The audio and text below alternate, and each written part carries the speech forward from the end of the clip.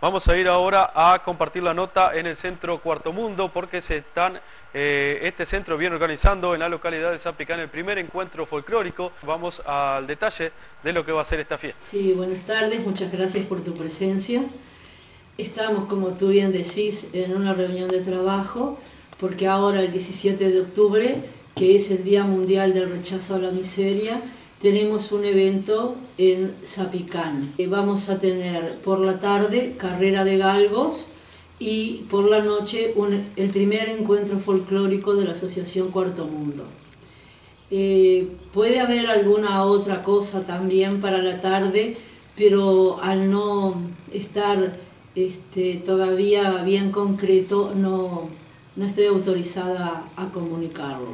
Este, tenemos siete ocho artistas invitados este, que vienen de distintos lugares, que van a colaborar en forma honoraria con Cuarto Mundo.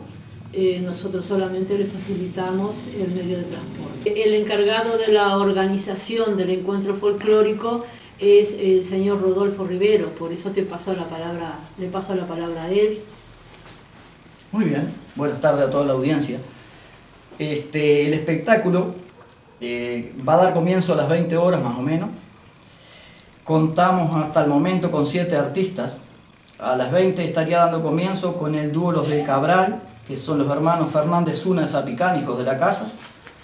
A las 20.30 actuaría la niña Marcia, que viene de la Costa de Oro del Pinar, ¿verdad? Es una niña que nosotros la vimos actuar ya y hace un gran despliegue en el escenario. Eh, más o menos a las 21 estaría actuando el dúo Lugareños de la ciudad de Míguez. A las 21.30, el solista Pedro Silva de la ciudad de Florida. Ahí, haríamos un corte, ¿verdad? Este, para la entrega de premios de carrera de galgos y todo lo que se haga en la tarde. Eh, arrancaríamos más o menos a las 23 otra vez eh, con un artista que nos ha proporcionado la Intendencia de La Valleja, el señor Sandro Colmán de la ciudad de Minas.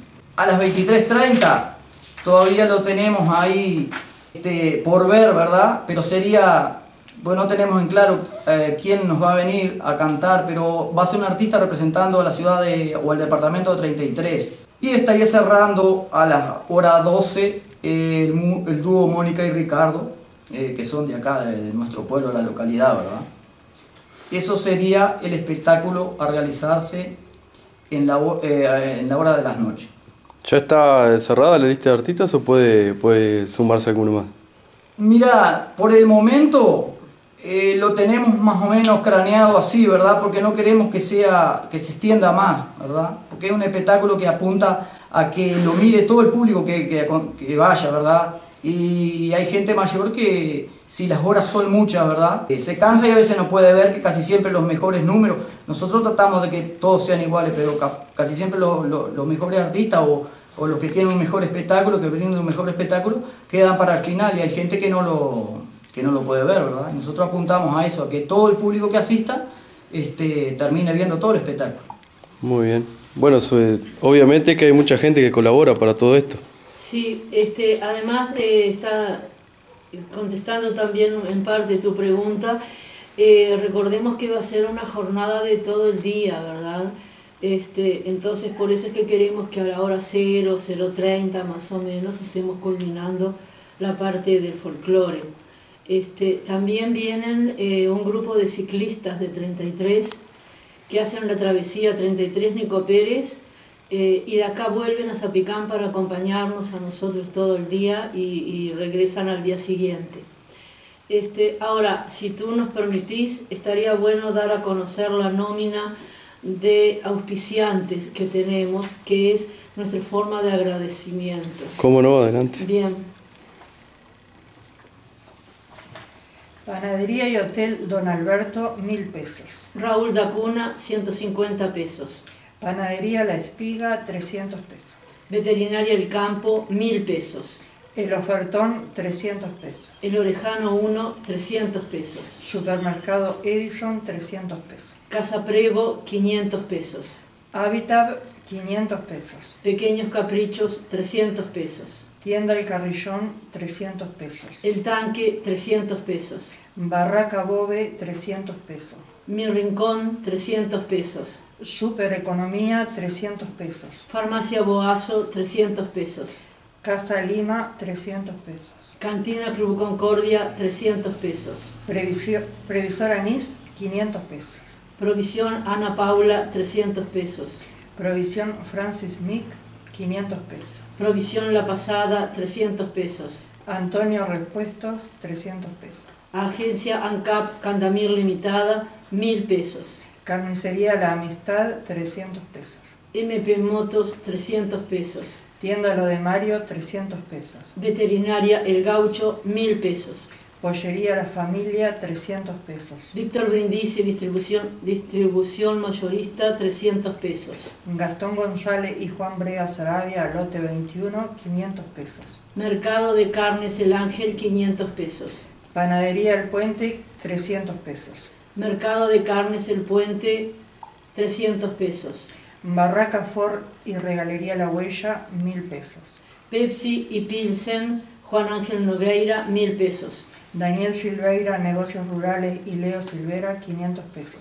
Panadería La Confianza, 300 pesos. Adalberto Méndez, 300 pesos.